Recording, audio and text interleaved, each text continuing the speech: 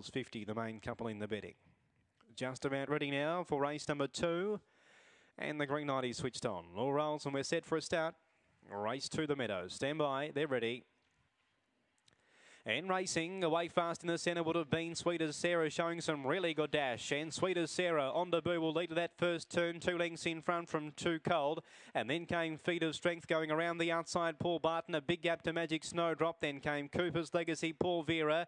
Zero Predator took a tumble. It's on its feet and he's trailing the field. Coming off the back, Sweet as Sarah the pilot leads a length and a half on Too Cold. Around the outside, Feet of Strength and then Paul Barton. It's Sweet as Sarah still in front though from Too Cold trying hard, but Sweet as Sarah goes all the way. Two lengths on Too Cold, third feet of strength and fourth went to Paul Barton. Ahead of Magic Snowdrop, a gap to Cooper's Legacy, then Paul Vera. A gap last Zero Predator who took a tumble at that first turn makes it safely into the catching pen, the run 30 and 34.